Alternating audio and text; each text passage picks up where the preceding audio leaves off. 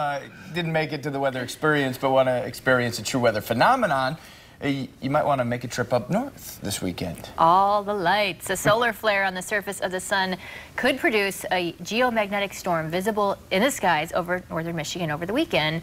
The skies, uh, Ellen was saying, what, clear tonight and tomorrow, so we're good to see this, right? Yes, so the KP index um, usually tells us how active the geomagnetic activity is, and it's predicted between a 5 and a 6 for this weekend, and usually we need a KP index of 4 to see the northern lights in northern Michigan. Again, so if you live close to Indiana, you might not be able to see it, but the farther north you get this weekend, you Like should be how able far, to... Yeah, how right. far do you think someone should I go? I mean, that's the question, I guess, but I would say um, Big Rapids area has the Oh, best that's chance. Oh, it's not that far. Yeah, it's drivable, but if you go to Big Rapids and you don't see the northern lights, please don't email me with... Matt Wood at woodtv.com. Like, you know, Yeah, Traverse yeah. The farther you go, Traverse City, the Upper Peninsula, you have even better chances. The farther north you go, How cool. the better it is. Yeah, I love neat. these northern lights. Love to Seen see them once. Wow. I don't remember where.